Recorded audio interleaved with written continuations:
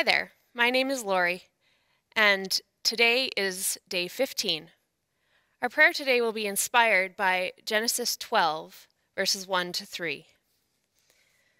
The Lord had said to Abram, Leave your country, your people, and your father's household, and go to the land I will show you.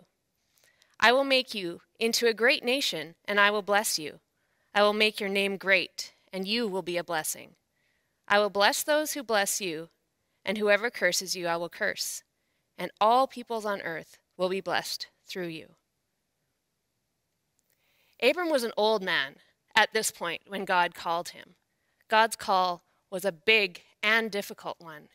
He was called to leave his country, his people, his father's household, and go into an unknown place with only his wife and his nephew. It was a big call, a tough call, one that would require a lot of faith. But the blessing God promised was also a big one. God promised to make Abram into a great nation, to bless him, to make his name great, and to bless the whole world through him. Abram didn't even have a child at this point, and he was 75. How could the Lord follow through on these promises? Could Abram experience the blessings that God promised? By faith, Abram did follow God's call, and God did provide a son and a nation to him. And God blessed him, and then blessed all nations through him. We are evidence of the blessing God provided to Abram. Abram trusted in God, and his faith is our heritage.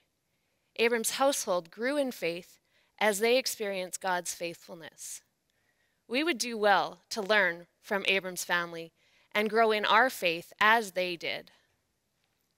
Let's commit to praying that our households experience God's faithfulness and in turn grow in new life and faith in Jesus. Let's pray. Lord, I thank you for Abram.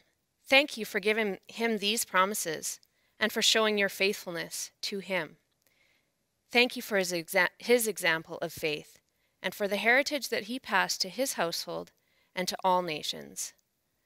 God, may we experience your faithfulness in our families, and may that f- inspire faith in our lives and lead us to experience new life in you. Amen. May God bless you as you now continue in your own time of prayer, praising, repenting, asking, and yielding to God.